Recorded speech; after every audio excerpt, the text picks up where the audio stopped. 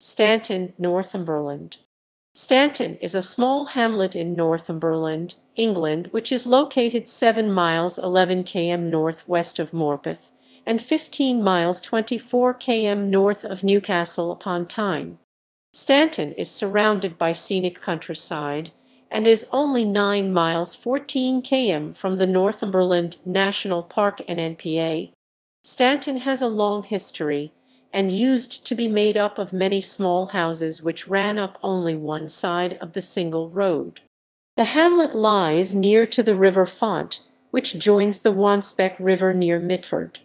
Governance Stanton is in the parliamentary constituency of Berwick upon Tweed.